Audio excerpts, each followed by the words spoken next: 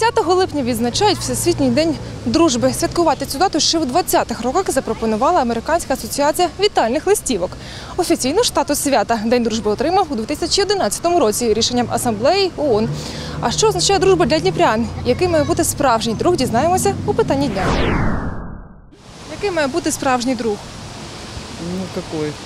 Чтобы мы пойм- взаимопонимание было, по- поддержка, чтоб в трудную минуту поддержал.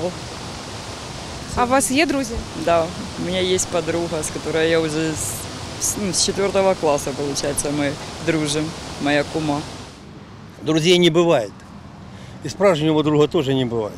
Ну, ситуации разные. Под любую ситуацию, у каждого по своему возрасту есть своя ситуация. И по ситуации можно определить, какой друг должен быть и в какие дела с ним и ходить надо.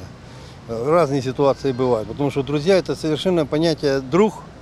У каждого в голове понятие свое о друге, какой он должен быть. Что такое дружба? Так. Ну, наверное, это доверие к человеку, который рядом с тобой, да, поддержка его. Вот, ну что еще могу сказать? Ну, наверное,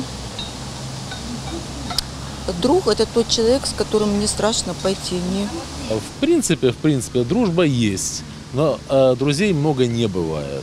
Друзья бывают э, и проверяются друзья не на словах, а в деле. Скажем так, это давно известная истина, которая, в общем-то, не требует подтверждения. Это аксиома. Для меня друг проверяется именно в беде, как говорится. Э, Только так. Чи те справжня дружба, як ви вважаєте? Думаю, нет. Может, между мужчинами и есть, но между мужчиной и женщиной и женщиной и женщиной нет. Дружбу верю, у меня есть друзья. Есть один дружка хороший, есть плохие друзья. Все зависит от человека. Ну, друг должен быть как брат, сестра. Дружба.